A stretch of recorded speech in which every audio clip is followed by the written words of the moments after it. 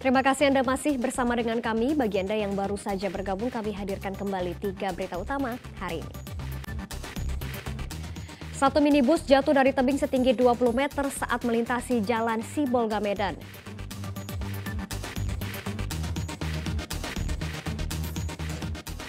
Sebuah video tarian erotis yang diperankan beberapa orang waria di kota tebing tinggi viral di media sosial.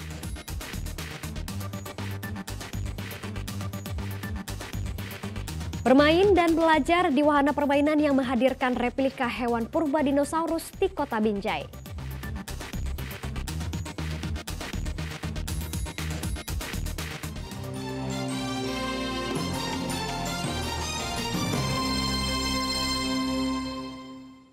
Komisi Pemilihan Umum Kota Binjai melantik panitia pemilihan kecamatan atau PPK yang akan bertugas hingga pemilu 2024 mendatang.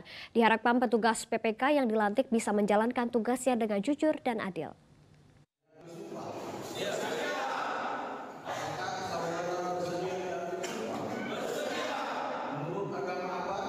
Pelantikan petugas panitia pemilihan kecamatan PPK ini dilaksanakan di Aula Punokawan, Kota Binjai pada Rabu lalu. 25 orang petugas PPK yang akan bertugas di lima kecamatan ini dilantik Ketua KPU Kota Binjai dan dilanjutkan dengan penandatanganan sumpah serta pembacaan ikrar oleh perwakilan petugas PPK yang baru dilantik.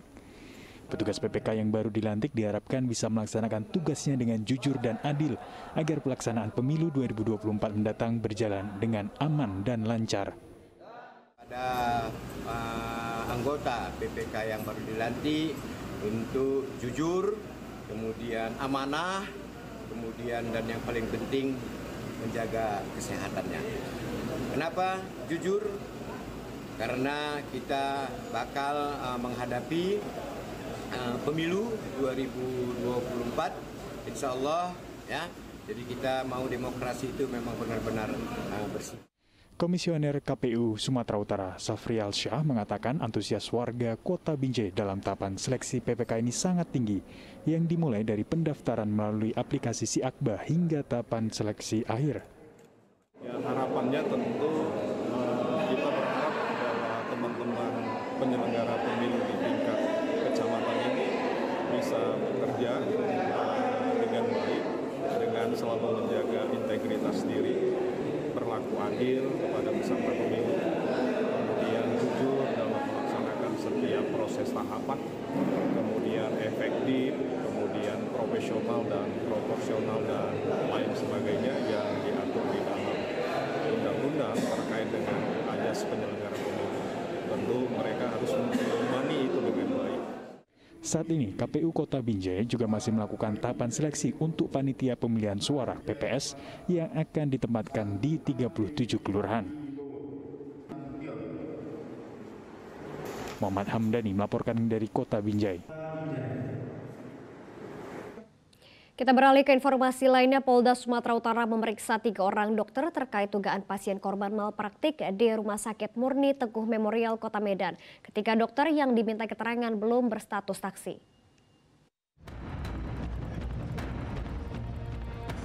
Masih berstatus penyelidikan, kasus dugaan malpraktik pasien yang berprofesi sebagai bidan asal Kabupaten Tapanuli Tengah terus bergulir.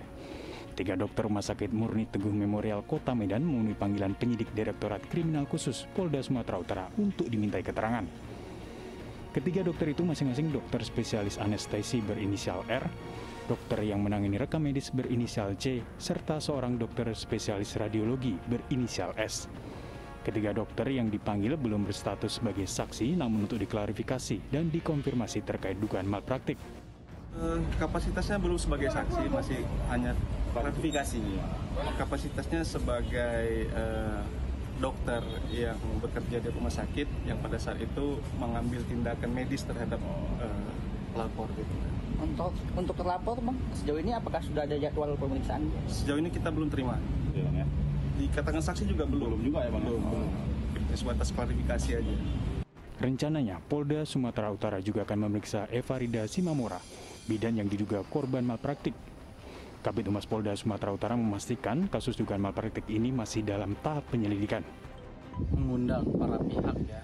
Hari ini dijadwalkan pihak rumah sakit dan beberapa dokter untuk kita undang dimintai klarifikasi dan konfirmasi terkait dengan peristiwa tersebut. Dan informasi yang terakhir saya terima bahwa ada eh, dua dokter ya yang hari ini sudah memenuhi undangan dan dalam proses klarifikasi oleh penyidik. Untuk statusnya sendiri masih dalam proses penyelidikan dan eh, apa namanya meminta konfirmasi dari para pihak yang lain. Kasus dugaan malpraktik ini mencuat setelah keluarga pasien Eva Rida Simamora, bidan puskesmas di Kabupaten Tapanuli Tengah melaporkan dokter berinisial PS yang mengoperasi kaki kanan pasien padahal yang dikeluhkan adalah kaki kiri. Pasien Eva Rida Simamora cedera pada tumit kaki kiri akibat kecelakaan motor dan jatuh di kamar mandi. Pasien mengaku sama sekali tidak mengalami gangguan pada kaki kanan yang justru dioperasi oleh dokter. Usai dioperasi, kondisi pasien kian memburuk hingga tidak dapat berjalan kecuali dibopong. Tuti Alawiyah Lubis melaporkan dari kota Medan. Naiknya nilai jual objek pajak atau NJOP di kota Pematang Siantar membuat warga mengeluh atas kebijakan wali kota. Pasalnya ketika warga akan melakukan penjualan tanah atau bangunan miliknya dikenakan penilaian objek yang akan dijual sangat tinggi. Kenaikan mencapai 1000% dari tahun sebelumnya. Kenaikan nilai jual objek pajak yang tinggi mencapai 1000% ini menuai protes dan keresahan bagi warga kota Pematang Siantar. Karena di beberapa daerah sekitar wilayah kota Siantar sama sekali tidak naik drastis, hanya berkisar 50 hingga 80% dari tahun sebelumnya. Landasan kenaikan NJP ini berdasarkan peraturan wali kota nomor 4 tahun 2021 dinilai oleh warga Siantar sangat tidak tepat. Akibatnya akan membuat investor enggan membeli tanah atau bangunan di kota Pematang Siantar. Sebelum-sebelumnya?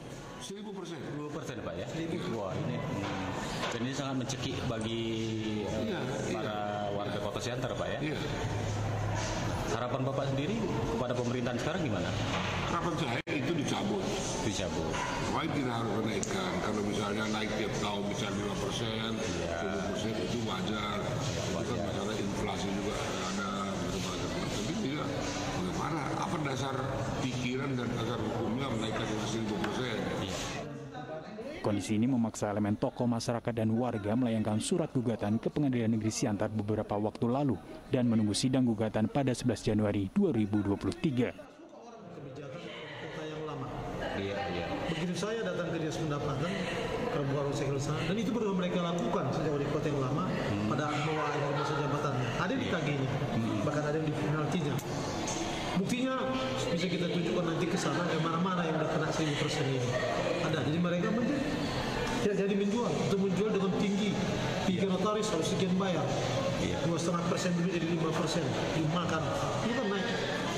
Warga berharap pemerintah kota Pematang Siantar dapat mengkaji ulang peraturan terkait nilai jual objek pajak yang memberatkan ini. Yana Asmara melaporkan dari kota Pematang Siantar. Wahana permainan yang satu ini menghadirkan replika hewan purba yang hidup jutaan tahun lalu. Tak hanya menghibur, wahana ini juga bisa memberikan edukasi bagi anak-anak mengenal beragam hewan dinosaurus. Nah, mumpung masih musim libur anak sekolah, tidak ada salahnya bagi para orang tua mengajak buah hati Anda wisata ke wisata dinosaurus yang berada di kota Binjai.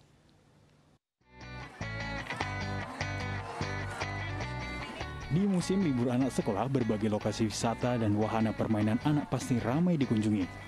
Semakin terbatasnya ruang terbuka dan taman hijau mengakibatkan anak kini cepat merasa jenuh. Nah, bagi Anda para orang tua bisa mengajak sang buah hati ke tempat wisata yang satu ini. Terletak di Jalan Tengku Amir Hamzah, Simpang Kebun Lada, Kota Binjai, terdapat wahana permainan untuk mengedukasi anak tentang keberadaan hewan purba yang hidup pada 230 juta tahun yang lalu. Para pengunjung diperbolehkan untuk memegang langsung hewan mainan yang terbuat dari karet dan dapat bergerak seperti aslinya. Tidak hanya itu, para pengunjung juga difasilitasi beberapa mainan hewan purba untuk dapat dinaiki. Harga tiket masuk Rp25.000 per orang. Para pengunjung juga diberikan satu kesempatan untuk bermain wahana permainan gratis yang memang sudah disiapkan oleh pihak pengelola. Jarak tempuh dari kota Medan menuju ke lokasi ini, pengunjung akan memakan waktu sekitar satu jam jika lewat jalan nasional dan 40 menit saja jika lewat jalan tol. Awal itu kan biasa, pasar malam biasa, lalu ada kayak food court, food court begitu. Jadi karena memang eh, perlu ada pembaruan gitu kan, kita munculin yang namanya tema dinosaurus di sini, Dinopark. Jadi kita ada beberapa jenis dinopark di sini dari yang besar sampai yang kecil. Eh, semuanya bisa hidup bang. Jadi dinopark itu dinosaurusnya semua bisa goyang semuanya gitu kan, bisa bergerak sehingga eh, pengunjung lebih antusias. Jadi anak-anak yang datang juga yang sebelumnya hanya bisa melihat di YouTube, di sini bisa langsung merasakan jumpa langsung dengan dinoparknya di sini. Salah satu pengunjung, Sri Novitasari menyebutkan sangat mendukung dengan adanya wahana permainan dinosaurus ini. Selain karena unik juga dapat mengedukasi anak sehingga mengetahui hewan apa saja yang hidup pada jutaan tahun yang lalu.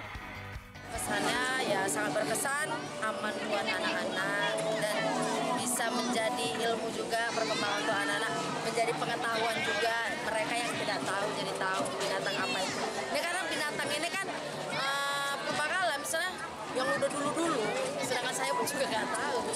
Kesannya sangat luar biasa. Untuk masa liburan anak sekolah yang bertepatan dengan pergantian tahun, lokasi wahana permainan anak yang baru buka selama hampir sebulan ini dapat menarik pengunjung lebih dari seribu pengunjung per hari. Muhammad Hamdani melaporkan dari Kota Binjai. Dan laporan tersebut mengakhiri berita Medan hari ini. Saya Janet Lee berterima kasih atas perhatian dan kebersamaan Anda. Selamat beraktivitas dan sampai jumpa.